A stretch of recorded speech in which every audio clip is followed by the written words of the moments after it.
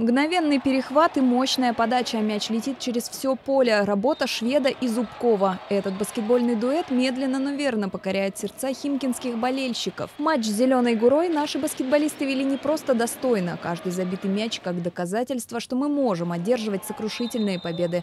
Несмотря на тяжелый сезон в Евролиге, в Лиге ВТБ Химки сейчас в тройке лидеров. Для «Зеленой горы» вчерашний матч уже ничего не решал. Они доигрывали свой сезон. Итоговый счет 180 в пользу желто-синих. Победу баскетбольному клубу принесла и дублирующая команда «Химок». В единой молодежной лиге ВТБ наши парни стали чемпионами. Наградили игроков во время вчерашнего матча. С победой команду поздравили генеральный директор БК «Химки» Павел Астахов, директор единой лиги ВТБ Илона Корстин и председатель Совета депутатов «Химок» Александр Дринов.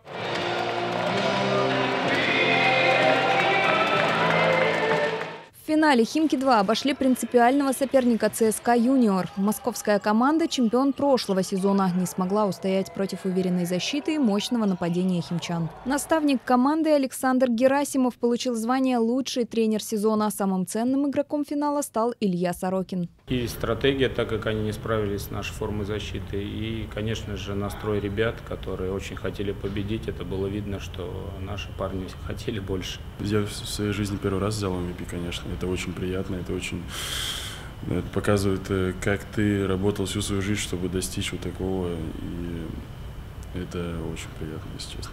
Команда «Химки-2» завершила сезон, но продолжает тренировки и готовится к следующему. Сейчас фанаты «желто-синих» еще смогут увидеть игры основной команды. Следующая домашняя схватка БК «Химки» с «Енисеем» 24 апреля.